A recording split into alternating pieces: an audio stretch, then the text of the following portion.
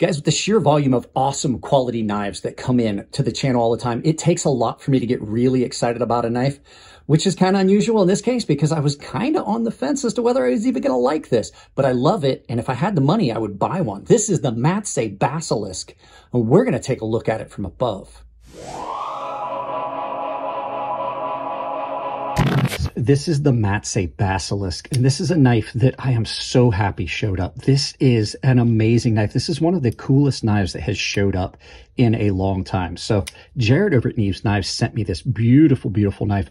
Uh, I absolutely love it. The only reason I'm doing the review right now is because if I don't, it's going to spend too much time in my pocket. I absolutely have to get it done so that I'll put it away and stop carrying it. So let's do some quick specs so you're looking at an overall length of uh, 7.125 inches overall. You're looking at a blade length of three inches.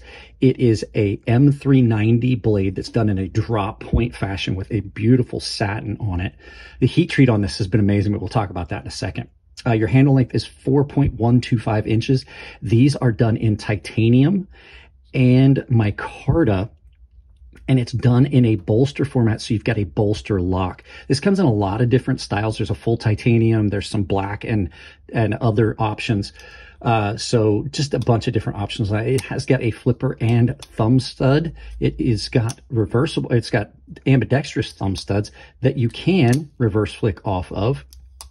Um, and oh, I'm sorry for your last spec final overall weight is 3.7 ounces, which I found surprising because it's kind of a beefy knife. It is really light and well balanced. So let's get some size comparisons out of the way. So just what happened to be in pocket right now is the Spyderco Para. You can see a good bit bigger than the Basilisk. Your next knife is the Benchmade 940. And as you can see, the 940 is a good bit longer than this knife.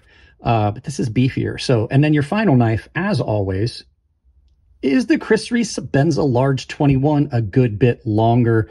Let's get this out of the way and take a good look at this knife. So like I said at the beginning of the video, I had some doubts about this knife when it first showed up. I knew it looked cool and I liked everything about it. It is very visually striking. You've got a really nice, beautifully done clip point blade that comes down. It's got a beautiful satin on it. It's done in M390. The heat treat on this has held up incredibly well. They definitely nailed their heat treat on this M390 because I have cut a lot and the only thing I did was just touch it up on a ceramic hone, on an ultrafine ceramic and then strop it. You can see it's polished up a little bit, but I have cut so much cardboard with this. Comes down to a nice thin behind the edge on this and it is done in some beefy stocks that did a really good job with their grind. And like I said, it's just gorgeous with all the facets. And then one of my favorite favorite finishes is this satin where you get that rainbow effect. The handles on it are really well done. Titanium and micarta done in a bolster lock fashion. There's no hot spots on this. It is incredibly smooth. You've got thumb stud and flipper tabs on this. And the cool thing about this is the flipper tab completely disappears. So you've got this area here also. This is one of the cool things. A lot of times knives will come down and there's a hard edge here. And when you flip, especially on some of these shorter flippers, you hit that hard edge and it can be uncomfortable. They've opened that up so that you just roll into this wider spot. So not only does it look cool, it gives it a cool line, but it absolutely serves a feature. It, it's a feature that serves a purpose. Your handles have got this area here that is a little bit wider, and typically I'm not a fan of that because it feels like wasted space. On this knife, it's not. You can get your middle finger up in here, get up on that, and that is a very, very secure grip to bear down and do some heavy duty cutting. I find it really comfortable. A lot of times when you get up here, you kind of lose the angle of the cut. On this knife, you really don't. It's not so pronounced. Uh, and then your sharpening choil on this is just about perfect. It gets you out past. Now, I've cut a lot with this knife and I have not found any real discomfort in cutting. There's no hot spots. They did a really awesome job. They did an awesome, awesome job of knocking off that sharp edge that I always complain about on knives like this. There are no sharp points. It's all clean and softened. Some of the most attractive reverse honeycomb on a knife on these pivots and on the pocket clip. And then, like I said, extremely light because on top of the fact that they removed all this material on the titanium, which is already light, for the micarta, they have done weight reduction inside.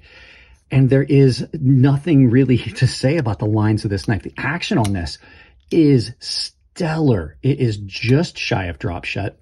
The clean lines, the flipper works perfectly. This flipper could, on a lot of knives, that type of flipper can be problematic. It works perfectly on this. No issues with that. These are available. I'll put a link to it down below.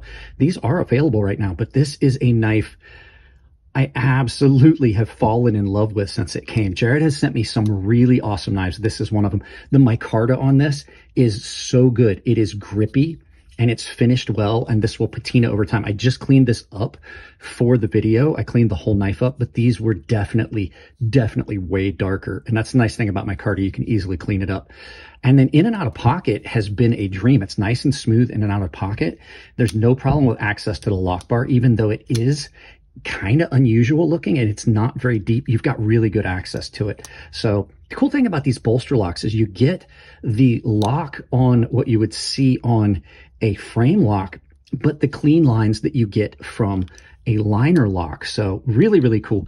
I have found a couple things that I don't like about the knife. They're very, very minor, and we'll talk about those in just a second after you guys hear from a channel sponsor. Guys, did you know that Coffee Brand Coffee has more than just awesome on-demand roasted coffees and flavored coffees. They also have tea, cocoa, cold brew bags, decaf, and they have premium candies that will make your family go nuts. So check them out with the link down below to save 10% on some of the best coffee you're going to find. So very, very minor things on this. Uh, it is a little thick at the tip. I found that to be, I mean, it is really kind of a little bit blunt at the tip, and there appears to be a bit of a facet at the very forward tip on this because it's a little bit asymmetrical. The rest of the grind seems really good, but at the very tip, you can see there, it seems a little asymmetrical right there.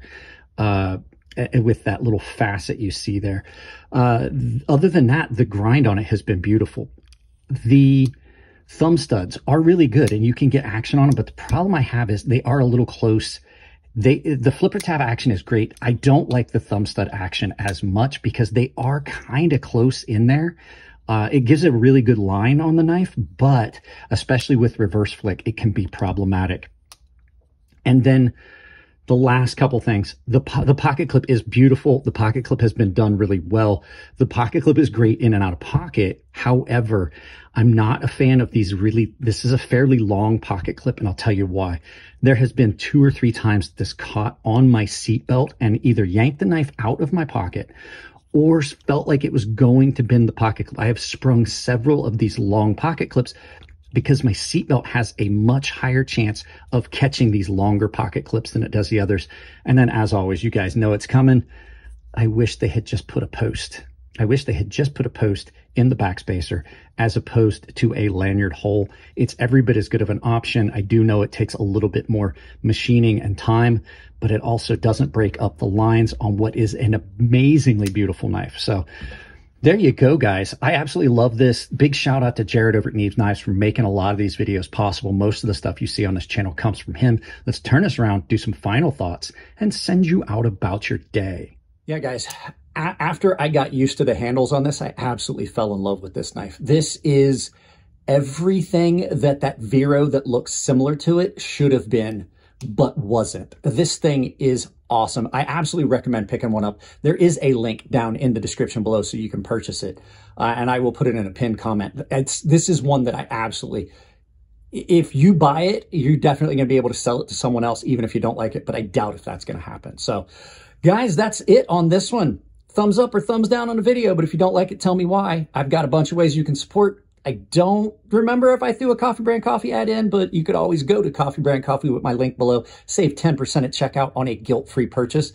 No politics involved in any of the stuff they're doing, and they have a 100% money-back guarantee on coffee that is roasted on demand. They've got tea, cocoa, cold brew bags, decaf, and some of the best flavored coffees you're going to find. Tempered Trail down below, some of the best shoelaces you're going to find in the industry, almost indestructible. You can use them on your hiking boots, on your casual shoes, things like that I have got a coupon code for both of those. It's crazy sharp, all one word.